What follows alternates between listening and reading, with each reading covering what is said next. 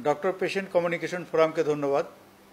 আজকে চিকিৎসক এবং সাধারণ মানুষের সাথে যে সম্পর্কের অবনতি ঘটেছে তা নিয়ে তাদের সুচিন্তিত মতামত তুলে ধরার জন্য। আমি অধ্যাপক ডাক্তার চিন্ময় দাস, আমি রাজশাহী মেডিকেল কলেজে কমিউনিটি মেডিসিনের অধ্যাপক ছিলাম। আমার বিষয়টাই হচ্ছে মানুষ নিয়ে। আমি নৃবিজ্ঞানের ছাত্র, আমার পড়াশোনাও পরবর্তীতে সেই দিকে। সুতরাং মানুষ সাথে মানুষের যে কি রিলেশন সেইগুলো নিয়ে আমার কাজ, কারণ এইভাবে আমি বেড়ে উঠেছি। আজকে খুব দুঃখের সহিত আমরা লক্ষ্য করছি যে চিকিৎসা পেশারকে সরাসরি সাধারণ মানুষের সাথে একটা সংঘর্ষের জায়গায় নিয়ে যাওয়া হচ্ছে। বিষয়টিকে অত্যন্ত খণ্ডিতভাবে দেখার কারণে আজকে এই অবনতিটা ঘটছে।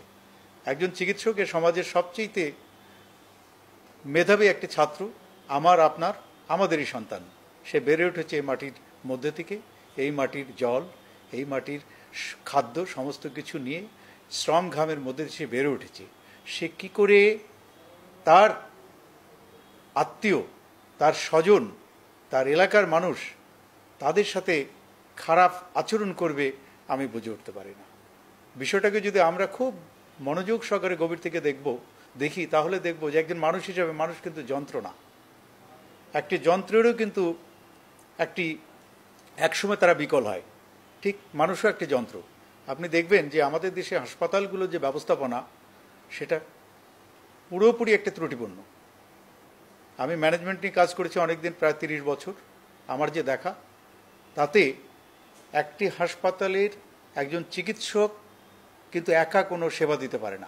এটা একটা টিমওয়ার্ক সেই টিমওয়ার্কের মধ্যে চিকিৎসক থাকবেন নার্স থাকবেন ওয়ার্ড বয় থাকবেন ফার্মাসিস্ট থাকবেন, সুইপার থাকবেন, অ্যাডমিনিস্ট্রেটর থাকবেন, সবাই মিলে একটি টিম। সেই টিমের কোনো জায়গায় যদি ব্যত্যয় হয়, তাহলে সেবা দেওয়া কিন্তু খুব দুষ্কর। আপনারা ভালো করে লক্ষ্য করে দেখবেন যে আমাদের হাসপাতালগুলো যে লোড নিচ্ছে, ওভারলোড নিচ্ছে, তার উপরে লোড নিচ্ছে। পাঁচশো বেগের হাসপাতাল, কিন্তু সেখানে রুগী আছে দেড় হাজার। কী করে বুঝবেন? আপনি যদি হাসপাতালে যান, আপনি রাজশাহী মেডিকেল কলেজে যদি যান, বিছানা নেই আপনার ফ্লোরে আছে। তো ফ্লোরে কখন থাকে? চিকিৎসা হয়। চিকিৎসা কারা দেয়? চিকিৎসকরাই দেয়। তার সাথে সাথে আপনি কি যে পাঁচশো বেডের হসপিটাল কিন্তু রুগী থাকছে দেড় হাজার এবং তার সাথে সাথে আট থেকে নয় হাজার অ্যাটেন্ডেন্স থাকতেছে। এগুলো ম্যানেজমেন্টের কাজ। সেই ম্যানেজমেন্টের যেমন দায়িত্ব আছে অ্যাট দ্য সেম টাইম যারা সেবা নিতে আসেন, যারা সেবার অ্যাটেন্ডেন্স আসেন, তাদেরও কিন্তু এখানে দায়িত্ব। সার্বিক দায়িত্বগুলো যদি আমরা সবাই মিলে ভাগ করে না নিই, তাহলে কিন্তু সম্ভব না।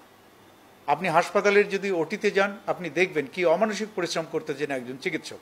সে কেন চাইবে একটা একটা রোগীর ক্ষতি হোক? তাই আমি বলব আসলে, আমরা যারা সুদীজন আছেন, যারা শিক্ষিত সমাজ যারা আছেন, যারা এদেশের আম জনতাকে নেতৃত্ব দেন বলে দাবি করেন, তার সবারই কিন্তু এই বিষয়গুলো ভাবা দরকার। আমার মনে হয় যে আমরা একটি ভালো পেশাকে, আমরা এমন একটা সাংঘর্ষিক জায়গায় নিয়ে যাচ্ছি যার পরিণতি কিন্তু কখনোই ভালো হবে বলে আমি মনে করি না। আমার মনে হয় যে আমরা যদি সবাই এগিয়ে আসি আন্তরিকভাবে, চিকিৎসক এবং সমাজের অন্যান্য যারা মানুষ আছেন, তাদের মধ্যে সম্পর্ক যদি আমরা গড়ে তুলি, তাহলে কিন্তু এই সমস্যাটার একটা পজিটিভ জায়গায় আমরা যাব, না হলে আমরা খুব দুঃখজনক জায়গায় যাচ্ছি। আমি এখনও মনে করি না যে চিকিৎসকদের সাথে সাধারণ মানুষের কোনো রকম দ্বন্দ্ব আছে, থাকার কোনো সুযোগই নেই। কারণ ওই ওই চিকিৎসকের সমাজের একজন মানুষ সে দেখতে পায় একজন রোগীর মধ্যে তার বাবাকে, তার ভাইকে, তার বোনকে, তার মাকে সবাইকে দেখতে পায়। কখনোই সে চায় না। সে যখন পরিশ্রম করতে করতে প্রত্যেকটি মানুষের কিন্তু একটা জিনিস বলে অ্যাটেনশন স্প্যান আপনি অনেক সময় বলেন না যে আমি কাজ করতে করতে আর ভালো লাগছে না। কেন ভালো লাগবে না আপনার? ঠিক এখানেও তাই। অ্যাটেনশন স্প্যান বলে যে কথা সেটা যখন চলে যায় তখন হয়তো একজন চিকিৎসক একটু জোরে কথা বলল, বলতেই পারে।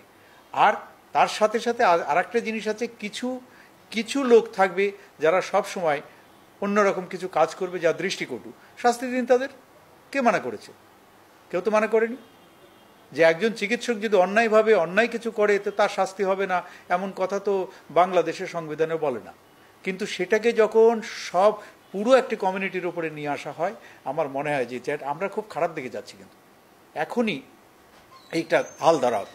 সেক্ষেত্রে ডক্টর পেশেন্ট কমিউনিকেশন ফোরাম যে কাজটি করছে, তাদেরকে আমি সাধুবাদ জানাই। তারাই কাজগুলো করুক। তার সাথে সাথে অন্য যারা সমাজ সেবামূলক কাজ করেন, তাদেরও এগিয়ে আসা উচিত। বিভিন্ন জায়গায় সেমিনার সিম্পোজিয়াম আয়োজন করুন। দেখুন কোথায় গলতটা আছে।